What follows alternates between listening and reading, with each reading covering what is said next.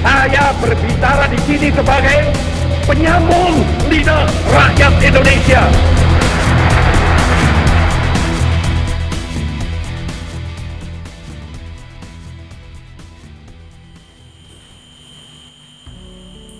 Salam Pancasila. Para speaker semuanya, dalam kesempatan kita hari ini kita akan membahas tentang Indonesia sebagai negara hukum ditinjau dari perspektif sistem hukum prismatik Pancasila di dalam membingkai Indonesia sebagai negara demokrasi. Untuk itu, mari kita simak tayangan video berikut ini.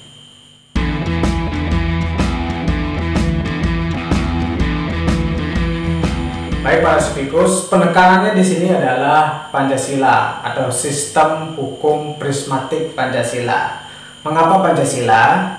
Pancasila itu tidak berada di luar manusia Indonesia, tetapi Pancasila itu merupakan hakikat dasar dari manusia Indonesia, jati diri bangsa Indonesia.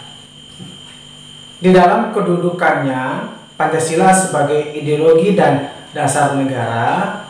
Eh, dalam hal inilah Pancasila diejawantahkan sebagai sistem hukum yang membingkai pelaksanaan ketatanegaraan yang ada di Indonesia. Nah, seperti yang disampaikan oleh Cicero, Hubius Ubi Societas di mana ada sekumpulan kelompok manusia, jadi di situ harus ada aturan atau hukum yang mengatur tentang sekelompok manusia tersebut. Sehingga tidak seperti konsep yang dijelaskan oleh disampaikan oleh Thomas Hobbes dengan istilah homo homini lupus. Apabila manusia tidak ada aturan yang mengatur kehidupannya, maka manusia bisa bertindak kurang bijaksana, bertindak seperti layaknya seekor serigala yang siap menerkam, menyerang satu sama lainnya. Nah, dalam dalam kerangka inilah dibutuhkan aturan atau norma atau hukum yang mengatur tentang pola perilaku tindakan eh, yang dilakukan oleh manusia tersebut. Berikutnya mengenai tentang unsur-unsur hukum. Yang pertama, hukum merupakan aturan yang dibuat oleh lembaga khusus, yaitu dibuat oleh pemerintah, bukan sembarang lembaga yang dapat membuat sebuah hukum. Hukum dibuat oleh lembaga yang berwenang. Dalam hal ini, hukum tidak dapat dibuat oleh semua pihak, tapi melalui suatu lembaga atau badan resmi yang memiliki kewenangan untuk hal tersebut. Di Indonesia, kewenangan membentuk peraturan perundang-undangan itu dimiliki oleh lembaga legislatif. Tapi mengenai e, inisiatif bisa berasal dari eksekutif dan bisa berasal dari legislatif baik dari presiden, kabinet maupun dari DPR itu sendiri. Yang kedua, peraturan bersifat memaksa. Artinya hukum adalah suatu peraturan yang sifatnya memaksa. Jadi setiap individu di dalam suatu masyarakat harus mematuhi hukum yang berlaku dan akan dikenakan sanksi apabila melakukan pelanggaran. Hukum berlaku untuk mengatur tingkah laku masyarakat. Artinya, setiap tingkah laku dalam interaksi manusia di dalam masyarakat diatur oleh adanya hukum. Berikutnya, adanya sanksi atau hukuman bagi pelanggar hukum. Adapun sanksi atau hukuman yang diberikan kepada setiap pelanggar hukum tersebut disesuaikan dengan aturan perundang-undangan yang telah disepakati atau ditetapkan oleh lembaga yang berwenang. Hukum secara umum dapat didefinisikan sebagai atau dapat dipahami sebagai sekumpulan peraturan atau sistem peraturan yang berisikan perintah dan larangan yang dibuat oleh lembaga yang berwenang dalam hal ini pemerintah untuk mengatur ketertiban, menciptakan kepastian hukum dan terwujudnya keadilan dalam masyarakat yang bersifat memaksa dan apabila dilanggar akan dapat dikenakan sanksi atau hukuman secara tegas dan Kemudian mengenai tujuan hukum, tujuan pokok dan utama dari hukum adalah ketertiban. Kebutuhan ketertiban ini adalah syarat pokok fundamental bagi adanya suatu masyarakat yang teratur di samping tercapainya keadilan yang berbeda-beda isi dan ukurannya menurut masyarakat dan zamannya seperti yang disampaikan oleh Mutar Kusuma Atmaja. Oke, baik berikutnya di dalam menjelaskan konsep Indonesia sebagai negara hukum tidak dapat dipisahkan dari keberadaan Indonesia sebagai negara demokrasi. Nah, sebagai unsur-unsur penopang dan faktor pendukung demokrasi, salah satu syarat yang dibutuhkan adalah yaitu sebagai negara hukum. Jadi kalau Indonesia mau konsisten dan konsekuen menjadi negara demokrasi, syaratnya salah satu pilarnya adalah Indonesia harus menjadi negara hukum. Nah, dalam dalam Undang-Undang Dasar 1945 pasal 1 ayat 2 ditegaskan bahwa Indonesia adalah negara demokrasi dengan kedaulatan rakyatnya atau pemerintahan didasari atas persetujuan oleh rakyat kedaulatan rakyat. Vox Populi Vox Dei. Suara rakyat adalah suara Tuhan. Maka dari itu diaturlah Indonesia sebagai negara hukum di dalam Undang-Undang Dasar 1945 pasal 1 ayat 3 penegasan Indonesia sebagai negara hukum. Nah, seperti yang dijelaskan oleh Jimli Asidi bahwa konsep demokrasi harus berdampingan dengan demokrasi. Kehidupan demokrasi akan berjalan dengan baik apabila dibingkai oleh adanya suatu konsep negara hukum, nomokrasi.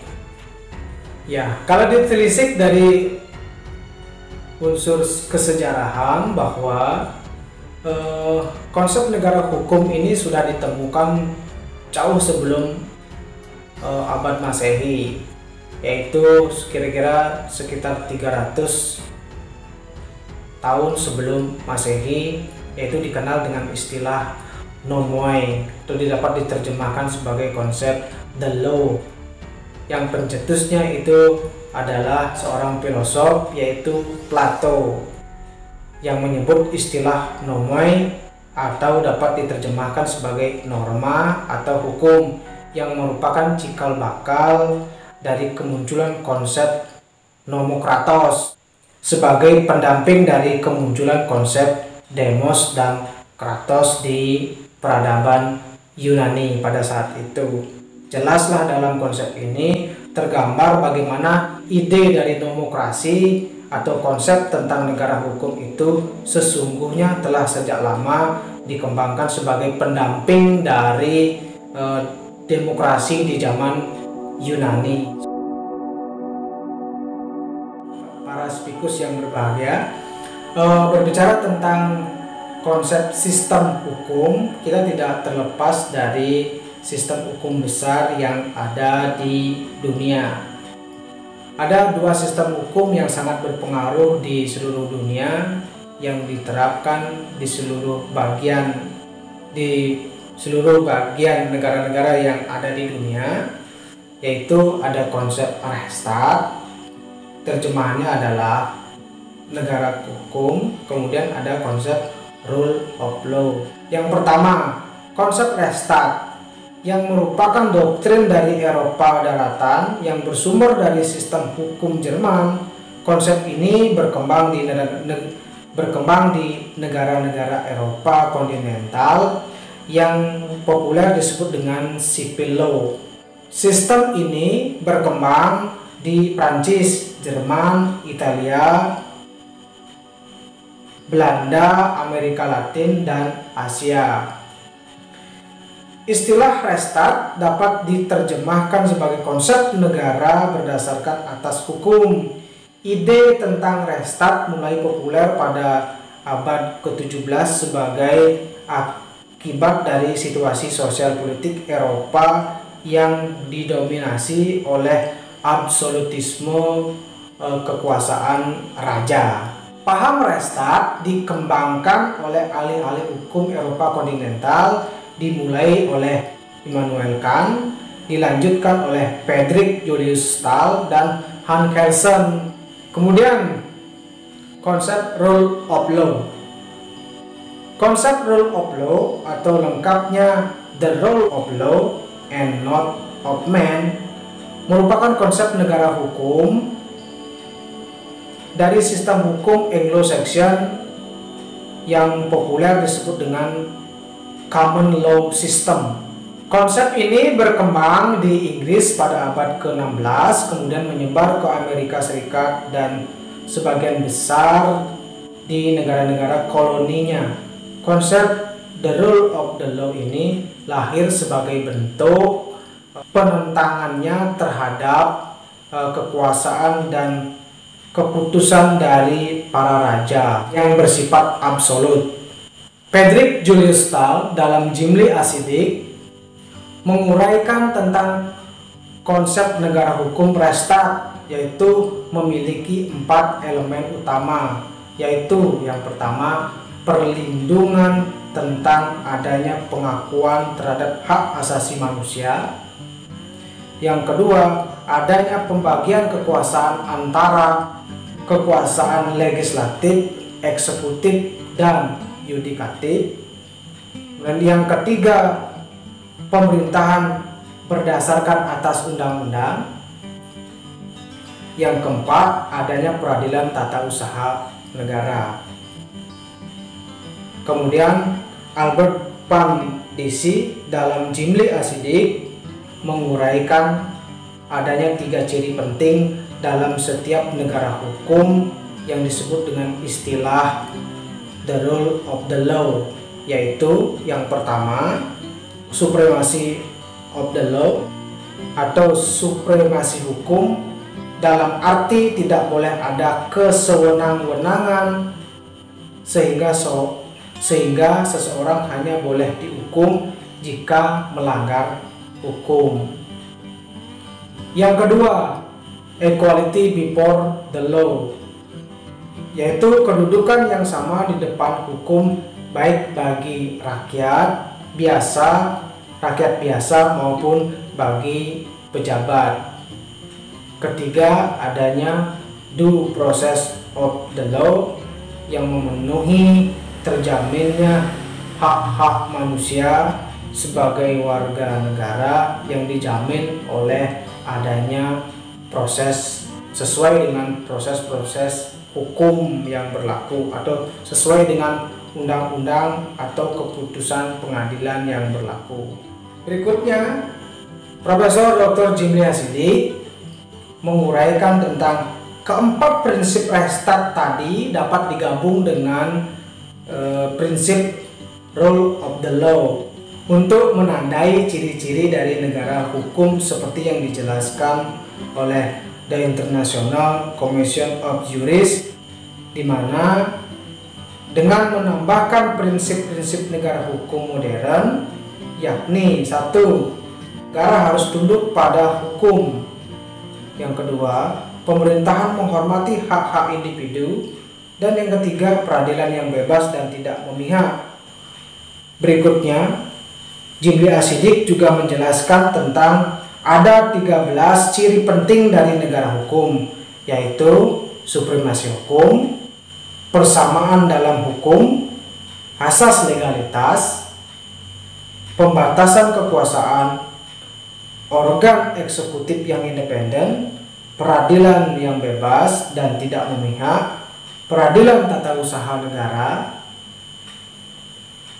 peradilan tata negara, perlindungan hak asasi manusia, bersifat demokratis, sarana untuk mewujudkan tujuan negara, transparansi dan kontrol sosial, dan berketuhanan yang Maha Esa. Berikutnya tentang sistem hukum.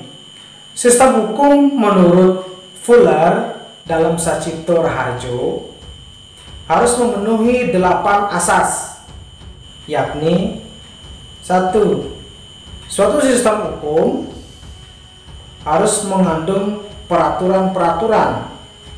Dua, peraturan-peraturan yang telah dibuat harus diumumkan. Tiga, tidak boleh ada peraturan yang berlaku surut. Empat, peraturan harus disusun dalam rumusan yang dapat dimengerti. 5. Suatu sistem tidak boleh mengandung peraturan-peraturan yang bertentangan satu sama lainnya. 6. Peraturan tidak boleh mengandung tuntutan yang melebihi apa yang dapat dilakukan. 7. Tidak boleh ada kebiasaan yang sering mengubah-ubah peraturan sehingga menyebabkan orang akan kehilangan orientasi. Kemudian yang kedelapan, harus ada kecocokan antara peraturan yang diundangkan dengan pelaksanaan dalam kehidupan sehari-hari. Nah, di dalam menjelaskan sistem hukum yang ada di Indonesia atau sistem hukum prismatik Pancasila, eh, saya meminjam konsep dari Lauren M. Friedman, di mana sistem hukum menurut Lauren Friedman memiliki tiga komponen sistem hukum. Yang pertama ada substansi hukum, yang kedua ada struktur hukum, dan yang ketiga ada budaya hukum. Baik, mengenai sistem hukum prismatik Pancasila di Indonesia, eh, sebelumnya banyak ahli yang berpendapat bahwa Indonesia menganut sistem Eropa kontinental. Mereka beralasan bahwa karena Indonesia pernah menjadi daerah jajahan Belanda selama berabad-abad yang notabene adalah negara dengan sistem Eropa kontinental diberlakukan dengan asas konkordasi yaitu hukum penjajah diberlakukan di negeri jajahannya yaitu Indonesia. Namun bukan berarti Indonesia memakai sistem Eropa kontinental secara mutlak meminjam pendapat dari Egan Arle dalam Sofian Hadi menyatakan hukum berkembang dan eksis pada masyarakat itu sendiri. Dengan pendapat tersebut, maka hukum sebagai sebuah tradisi, budaya, tradisi atau budaya harus ditemukan dalam masyarakat tersebut. Begitupun dengan sistem hukum Indonesia harus digali dari budaya masyarakat Indonesia itu sendiri, digali dari jati diri bangsa Indonesia, yaitu pada nilai-nilai kepribadian bangsa, yaitu Pancasila. Untuk itu, saya berpendapat bahwa sistem hukum Indonesia memiliki karakteristik sendiri yang berdasarkan Pancasila. Pancasila merupakan refleksi kebudayaan dan kepribadian bangsa dan rakyat Indonesia. Pancasila merupakan jiwa bangsa Indonesia. Pancasila merupakan ideologi dan dasar serta falsafah bangsa Indonesia. Untuk itu, Indonesia memiliki sistem hukum tersendiri, yakni sistem hukum Pancasila. Terkait dengan hal tersebut, mengutip pendapat dari Mahfud MD yang menyatakan bahwa sistem hukum Pancasila merupakan sistem hukum yang bersifat prismatik, yakni suatu konsep perpaduan antara hal-hal yang baik dari seluruh sistem hukum yang ada. Yakni Pancasila berisi perpaduan antara dari hal-hal yang baik dari pandangan individualisme dan sosialisme atau kolektivisme pandangan restart dan rule of law. Pandangan dari konsep law as a tool of social engineering dan the living law serta pandangan religius nation state yakni negara berlandaskan agama namun bukan agama tertentu bukan menjadi sistem hukum agama dari pendapat di atas maka sistem hukum Pancasila merupakan titik kontinum dari peleburan yang baik-baik dari beberapa sistem hukum baik Eropa kontinental Anglo-Saxon dan sistem hukum lainnya. Kemudian sistem hukum adat dan sistem hukum agama. Sehingga dalam sistem hukum prismatik Pancasila ada unsur Eropa kontinental, Anglo-Saxon, sistem hukum Islam dan sistem hukum adat. Jadi dapat dikatakan bahwa sistem hukum Pancasila bercirikan pada sistem hukum yang religius, sistem hukum humanis, sistem hukum sosius, demokratis, dan berkeadilan. Sistem hukum prismatik Pancasila dapat ditelaah dari politik hukum Indonesia dan dikaitkan dengan piranti sistem hukum dari Lauren M. Friedman yang terdiri dari uh, unsur substansi, struktur hukum dan budaya hukum.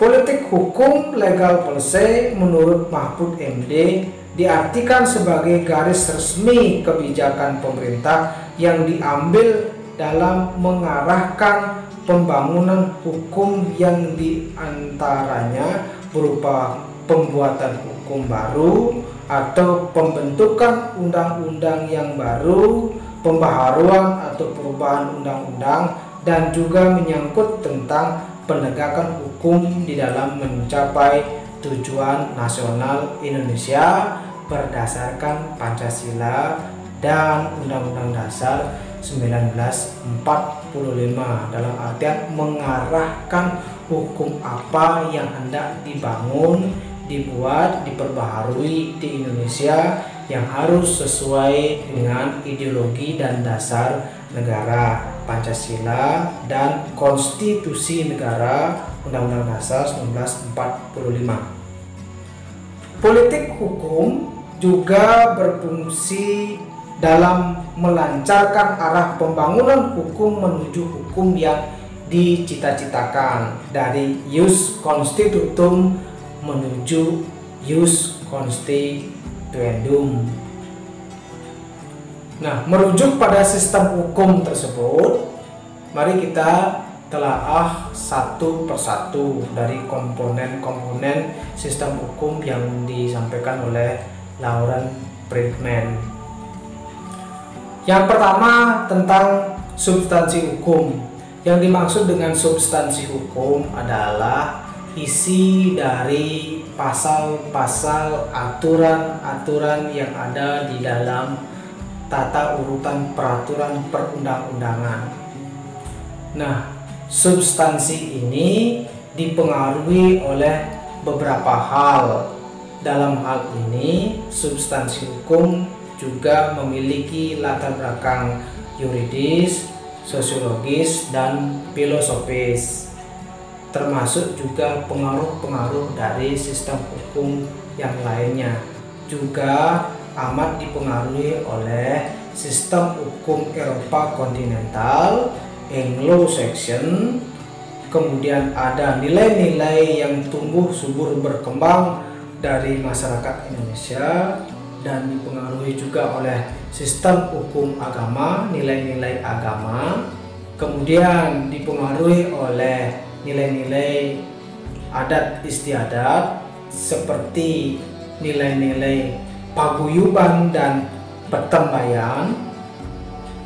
Tetapi dalam hal ini Pancasila lah yang menjadi uh, filter penyaring masuknya uh, substansi-substansi hukum yang ada di Indonesia. Tentu saja uh, juga harus berdasarkan pada dan tidak boleh bertentangan dengan Undang-Undang Dasar 1945. Kemudian berikutnya dilihat dari struktur hukum. Nah, di dalam struktur hukum ini diartikan sebagai lembaga atau kelembagaan yang bertugas di dalam menegakkan piranti-piranti hukum.